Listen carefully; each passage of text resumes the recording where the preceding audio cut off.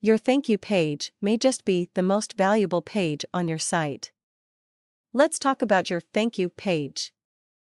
It's the page email subscribers land on after they sign up for your list. They are interested in what you have to say, and you have their undivided attention. The big question is if you're taking advantage of that fact by properly monetizing this valuable page on your website. Your goal with your thank you page is twofold. You want to thank readers for signing up and encourage them to confirm their sign up. That's what most list builders and online marketers do right. Where they miss the boat is when it comes to monetizing the page. Yes, the relationship with your readers is important and you need to start building it on that page. And of course, you should do anything you can to encourage them to click that link in the confirmation email.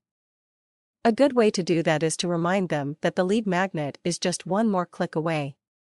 Start your pages by making sure that happens, but don't let them leave just yet. Instead of encouraging them to drop everything they are doing to look for that confirmation email, present them with an offer first.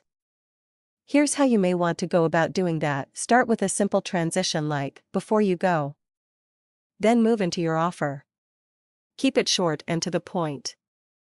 An offer that's closely related to your lead magnet is always a good choice here.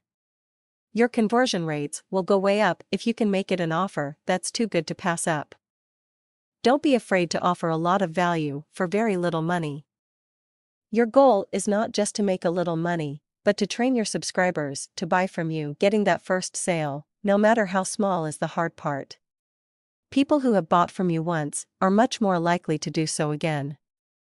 Put together a great deal and then make it a one time offer. The built in urgency of knowing this is a one time deal that they won't see again will help boost your conversion rates. Take a look at your thank you page and see what you're covering there right now.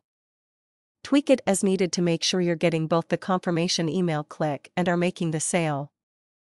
Do that and you'll be well on your way to building a highly profitable list of buyers who are ready to take you up on offers again and again over the coming months.